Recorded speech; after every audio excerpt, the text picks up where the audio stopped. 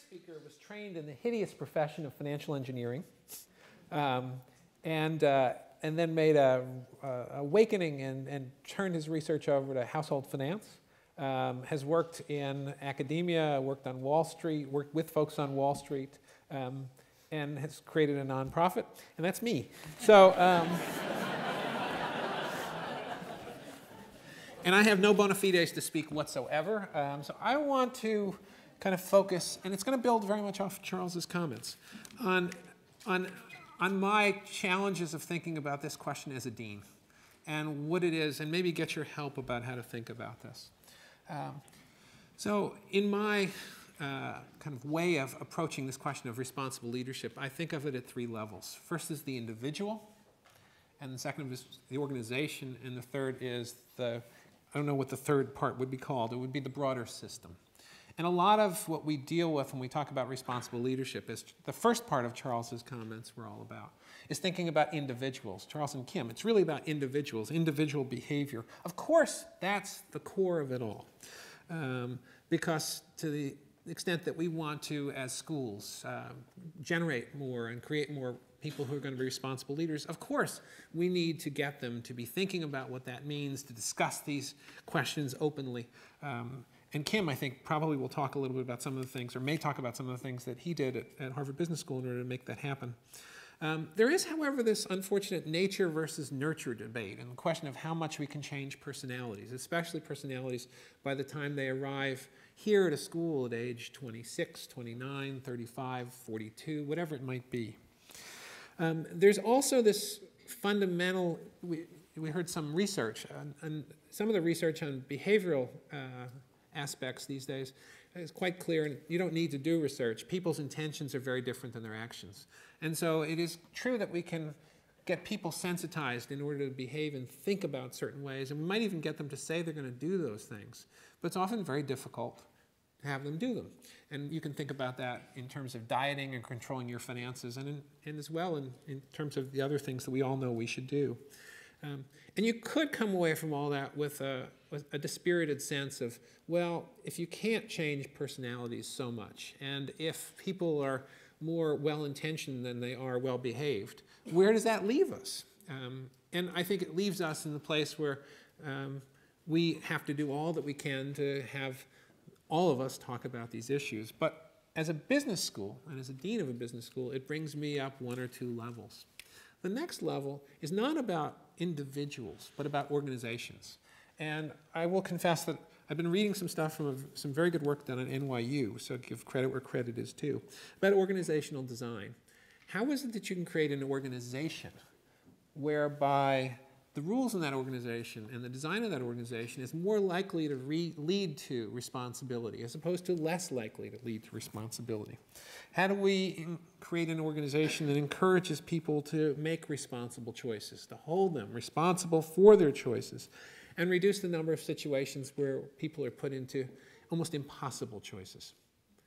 So we might not be able to change individuals that easily, but certainly as a business school, we should be thinking about how we change organizations.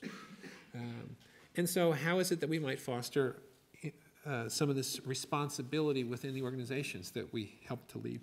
And I'll also give another confession. I'm an economist. Um, and that confession is a confession, a financial economist. And despite the fact that I've spent my entire professional life as an economist and, and, a financial economist, I find that economics in and of itself is problematic in this regard.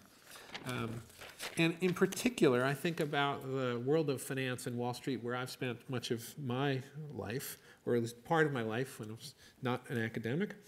And why is it that, you know, in some sense, the value system that comes out of economics, in some, in some ways, is is very dispiriting to the conversation that we're having. I think because it focuses only or primarily on economic gain rather than other consequences. Um, and, and anytime you reduce a problem to a single dimension, often you, you find that you get the behaviors that, you in, that you're not hoping for, but that are unintended. It focuses only on one stakeholder. Um, I preached for many years uh, shareholder value maximization, which, as an economist, and it makes the other shareholders and stakeholders seem unimportant. It focuses on money as the primary way to induce behavior, and we know from lots of research that that doesn't work. And while it sounds bizarre to business school, Ignatius had written about this warning. It almost sounds like a, a, a path to success at a business school, and it's riches to honor to pride. Um, and so, in Ignatian philosophy, um, rather than that being a way to success, that's actually a way to failure. And a lot of what we teach about is the transition from riches to honors to pride. Um, so, what did we do about that? How is it that we what are the levers that we have when we think about organizational design? Well, I think the first one is whom do we promote? Whom do we hire? How do we reward people? Whom do we reward? Under what circumstances do we reward them? Um, how do we organize them? What messages do we send? How do we discipline people when they do the wrong things? How do we reward them when they do the right things? How do we organize the firm? And it's these, and I don't have answers to these questions, but I think, you know, while it is true that we can focus on individuals all the time. If we go up one level and think about organizations, there are certain kinds of organizations, and it is true that they take the tone from the top, but certain kinds of organizations are probably better able to support people to make responsible decisions, and others less so.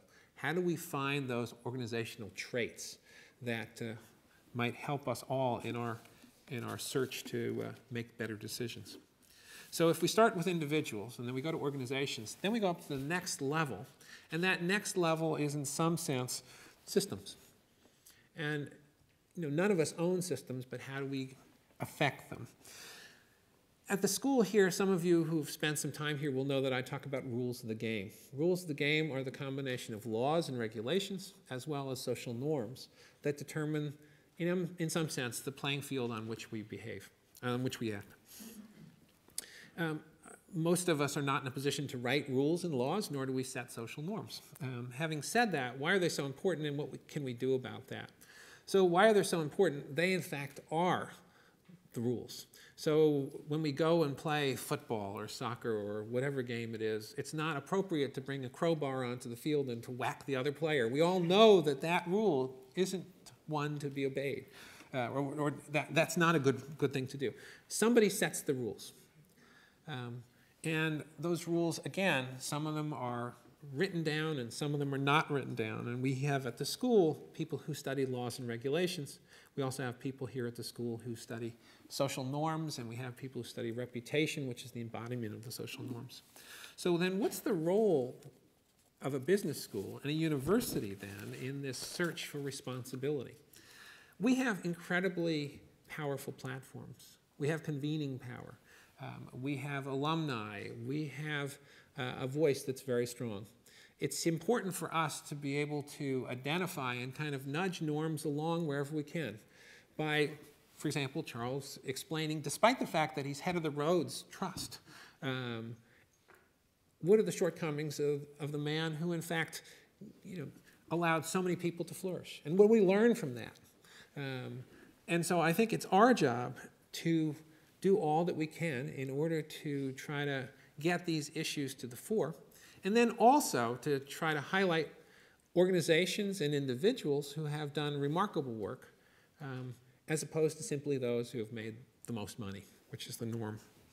Um, and therefore, it's um, as a dean of a business school, this is an unusual talk because you know we love our donors and they're remarkably important, but we should celebrate all sorts of folks.